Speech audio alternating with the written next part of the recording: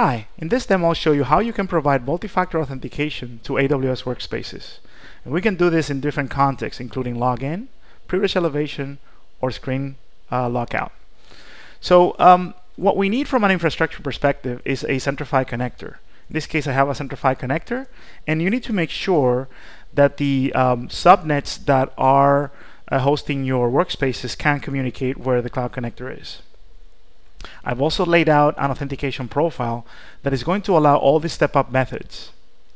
Finally, I have a workspace, right? I'm using Simple AD as my directory service. I had to um, enable the AD bridge because ultimately machines will authenticate via Kerberos to be able to negotiate on behalf of the user. I also have a workspace that has been assigned to my user Lisa. So uh, let's take a look at the experience. So I'm gonna pull in my Amazon Workspaces and I'm gonna put in my password. And what you'll notice is that this is gonna take me into that VDI session. One of the things that I've done is is that I've uh, laid out the authentication provider so I get challenged um, a second time here. So what you'll see is that Lise has been challenged. In this case, I'm going to type in my user, my password is connecting to the authentication service.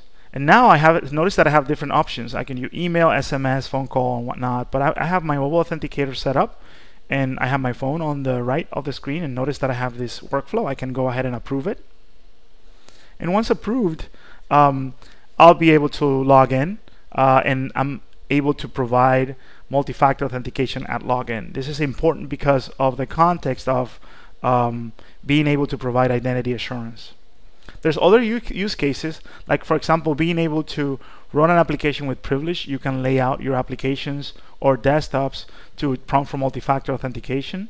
Another use case could be a screen lockout. For example, I have to go away from my screen, right? And I need to come back. When I come back, I unlock my machine, right? And I'm going to go through the same cadence, right? For example, I could use a different uh, factor. Let's just say a phone call